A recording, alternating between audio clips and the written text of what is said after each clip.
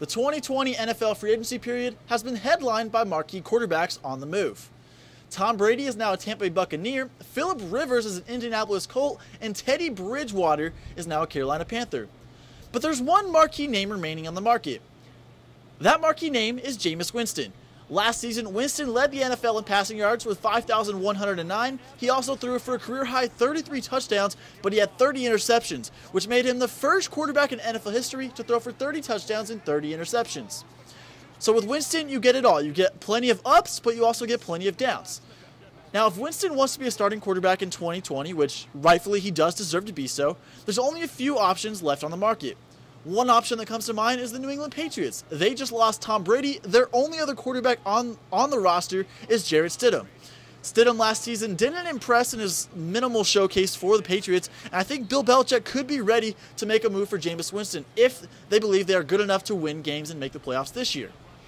If not the Patriots, there's two other teams in need of a starting quarterback that aren't the Cincinnati Bengals or the Miami Dolphins. Those two teams are the LA Chargers, who have Tyrod Taylor on the roster, who they say they want to be their starting quarterback in 2020, but they could be bluffing.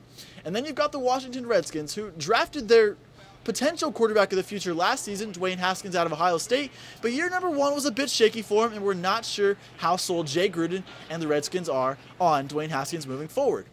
But if none of those teams want to sign Jameis Winston to be their starting quarterback, then he may have to look for a backup role in 2020 a couple teams that could use him as a backup this season and places that he could get opportunities possibly down the line would be the New Orleans Saints, who have an aging Drew Brees, and they just lost Teddy Bridgewater, who was their backup quarterback.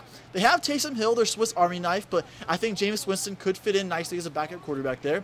And then you have the Pittsburgh Steelers, who, with Ben Roethlisberger going down with an injury last season, had to turn to Devlin Hodges and Mason Rudolph. Neither quarterback really impressed for the Pittsburgh Steelers. So Jameis Winston, who may not be a starter in 2020, might have to look for a backup role. It's going to be interesting to see which teams show interest. I named five. There could be some more lurking in the waters, but Jameis Winston will be playing for a new team in 2020, and that is really all we know.